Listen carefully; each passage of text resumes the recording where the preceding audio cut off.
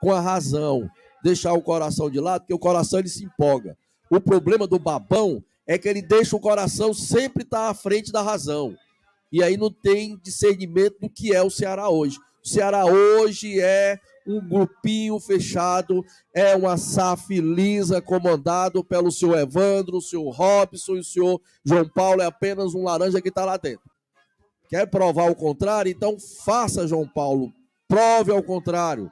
Bote para fora Bessi, contrate uma equipe de scout, contrate uma equipe de, de futebol, bote um bocado de pustema para fora, faça uma mudança geral lá em Alencar Pinto, abra o clube para o torcedor, crie um projeto a médio e longo prazo, aí eu vou dizer, cara, tô lhe apoiando, você não tem nada a ver com o Hobbs, mas você vier com um papinho que não tem nada a ver com o Hobbs e faz tudo o que o Hobbs faria, meu irmão vai enganar outro.